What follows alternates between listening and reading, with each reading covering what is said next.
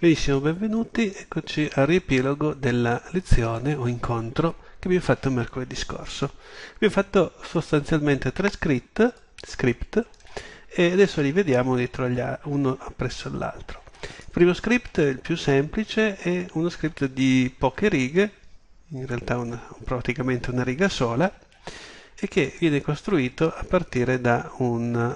Um, dunque, costruiamo un diciamo tappeto elastico. Tappeto, tappeto elastico è qualcosa che quando ci saliamo sopra ci spinge e ci fa rimbalzare verso l'alto. Quindi noi costruiamo un cubo lo uh, allarghiamo un pochino lo ecco facciamo così. Quindi questo sarà quello che diventerà il nostro tappeto elastico. A questo punto eh, prendiamo il nostro ehm, script, qui tappeto elastico trampolino, questo, facciamo tasto destro, modifica del nostro tappeto elastico, andiamo nell'ultimo contenuto, ci spostiamo lo script ed ecco che abbiamo il tappeto elastico in funzione. Lo script è una cosa molto semplice, è semplicemente un push. Questo qui pusha tutte le volte che collide con qualche cosa, eh, a quella cosa che ha colliso dà una spinta di eh, 00500 verso l'alto. Eh, lo vediamo in funzione, se funziona, semplicemente andandoci sopra. Vedete che vengo, ottengo praticamente questo effetto, quindi se rimango fermo proprio sopra, ok, qui mi dà praticamente una spinta. Okay? Per avere l'effetto tappeto elastico più convincente potrei forse allargarlo un pochino.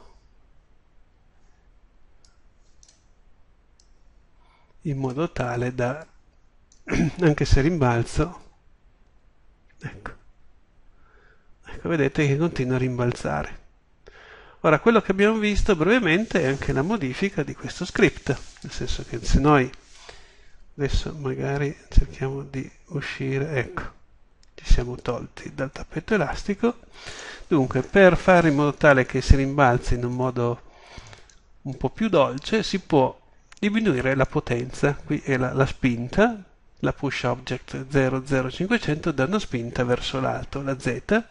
Se invece di 500 metto 100, che è molto basso, in pratica il tappeto darà una spinta di 100, ma si vedrà pochissimo. Vedete che eh, è come se muovessi su una, un tappeto elastico, insomma, che fa un po' di stranezze. Questo qui potrebbe essere l'ideale per fare ehm, un, dei, dei Luna Park o comunque delle cose un po' carine, un po' strane. E questa, diciamo, è la prima cosa che abbiamo visto durante la volta scorsa. Poi un'altra cosa che abbiamo visto, anzi in realtà a dire il vero, subito prima abbiamo visto un giver. Allora un giver che cos'è? È un oggetto, è una scatola, quindi facciamo build, prendiamo, adesso io lo faccio dentro una scatola come al solito, e qui ci metto lo script di giver che vi verrà dato, quindi give all si chiama, quindi ci mettiamo dentro il nostro giver, giver vuol dire che è un datore, cioè un consegnatore di cose, di materiale, mettiamo lo script give all. E vedete che adesso qui è scritto il nome con cui è noto diciamo il nome di questo oggetto. Quindi se noi qui gli diciamo eh, un altro nome ad esempio gli diciamo eh, clicca per note card lezione ok? E poi a quel punto lì dobbiamo ehm, evidentemente fare il reset dello script. Questo qui è lo script che è molto semplice. E mm, eh, a questo punto scusate che ok ripristina reset allora, facendo ripristina dell'oggetto, vedete che mette il, nome dell'oggetto sopra. Se ripristina da lì dentro vi viene scomodo, potete sempre selezionare l'oggetto e fare ripristina da strumenti e poi qui abbiamo la possibilità di fare reimposta gli script qui fa il reset dello script. Una cosa che io insegno sempre a fare il reset dello script.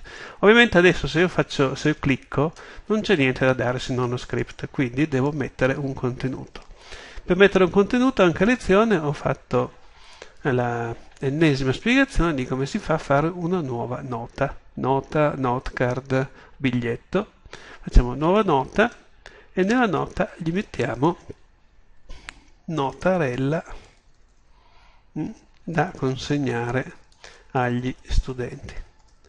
Qui possiamo scrivere quello che vogliamo, non è proprio un word processor, però ci possono stare tantissime informazioni per fare questo, questo, eccetera. Si possono mettere anche tante informazioni come dei link, dei altri oggetti, insomma è potentissimo hm?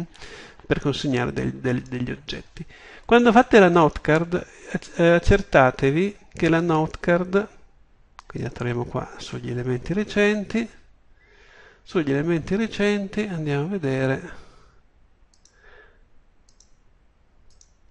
ecco questa nota, che era questa, ricordiamoci di cambiargli il nome alla notecard, quindi gli mettiamo materiale lezione, ok? E mh, accertiamoci che sia uh, full permission, cioè che il prossimo proprietario possa modificare, copiare e rivendere, questo è importante. Cioè, in realtà è importante fondamentalmente la copia e, ed eventualmente la rivenditura. Se volete che non possa modificare la notecard non dovete mettere eh, la spunta qua. Quindi prendiamo questo, materiale lezione, e lo mettiamo nel contenuto insieme al give all. A questo punto quello che succede è che chiunque clicchi qui, quindi qui, vedete gli viene consegnato una cartella di nome, ecco qui vedete che c'è clicca per note car lezione, probabilmente invece che clicca bastava mettere note car lezione, e qui negli elementi recenti avremo una cartella in più, questa, quindi clicca per Notecard lezioni con dentro il contenuto, la cosa che viene, la notecard che veniva data. Sì, vedete che qui non ha dato la notecard perché la notecard l'ho messa eh, dentro, ma ehm, quando si cambia il contenuto, questo tipo di giver bisogna fare sempre il reset dello script quindi deve fare ripristina perché lui si legge l'elenco delle cose da dare al momento in cui eh, praticamente si fa ripristina. A questo punto se io lo riclicco e andiamo a vedere il eh, clicca per Notcar lezione, vedete che c'è anche veramente il materiale della lezione. Quindi è importante l'ordine no?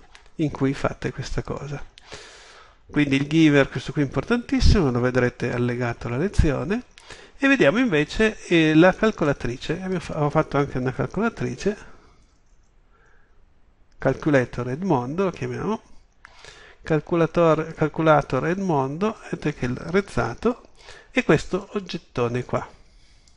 Questo oggettone che si può poi personalizzare come volete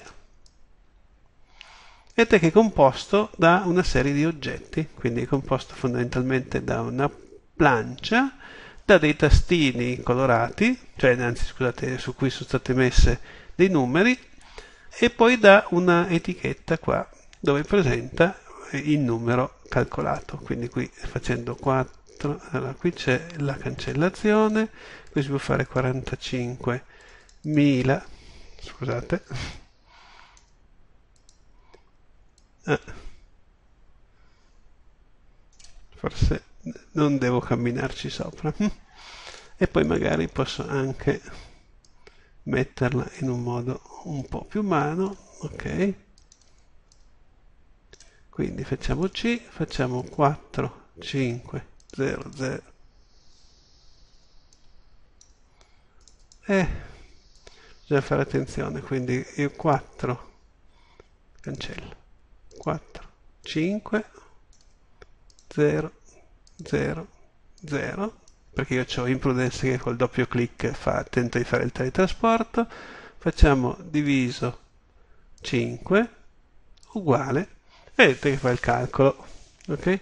Poi posso fare anche diviso 3 uguale diviso 55 devo togliere il doppio clic decisamente ok e quindi questa è diciamo la calcolatrice di cui lo script fondamentalmente lo trovate qua dentro.